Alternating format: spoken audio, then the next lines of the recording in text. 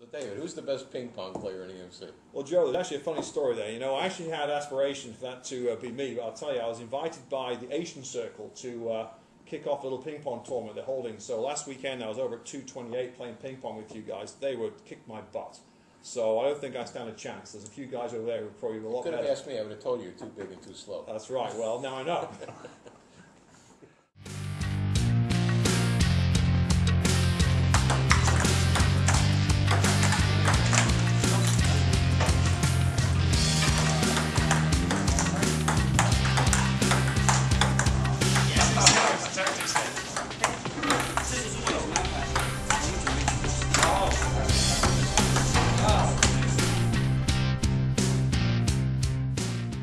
So on behalf of the uh, Iomega team, which is actually a global team based out of San Diego, Roy, Utah, Singapore, and Geneva, we're actually very pleased to sponsor a global event such as this. I actually just heard from my colleague uh, Jay Crone that uh, the actual four final participants were from four different countries, from India, from Vietnam, from China, and from the Ukraine. So again, in this, the spirit of a global competition, very pleased to be uh, the sponsor.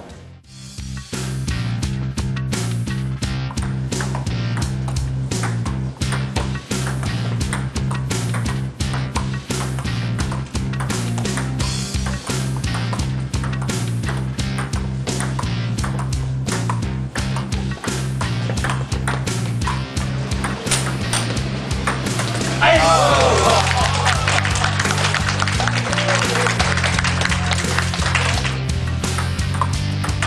아, Not ready.